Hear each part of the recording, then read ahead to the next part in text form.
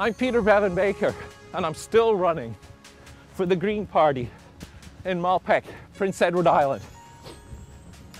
Often people will come up to me after they've heard me speak at, at a debate or on the radio or, or even going door to door, and they'll say to me, You know, you seem like a decent guy, and I like what you said, and the policies of the Green Party make a lot of sense to me, and I'd love to vote for you, but I'm not sure that I will because I think it's going to be a wasted vote.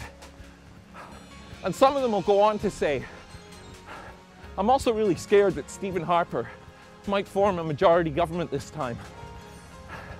And I think, even though I don't like or particularly want any of the other candidates, I think I'm going to vote for one of them to stop the conservative person from getting elected. And I say to those people, it's better to vote out of hope than it is out of fear. Because if we carry on voting for people and parties that we don't like or want, we're going to keep getting governments that we don't like or want.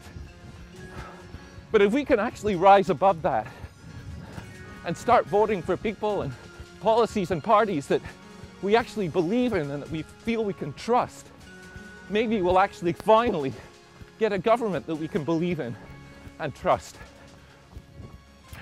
So if you hear Elizabeth May or any other Green candidate speaking in this election, and you say to yourself, wow, that's the kind of politics I've been waiting all my life to hear.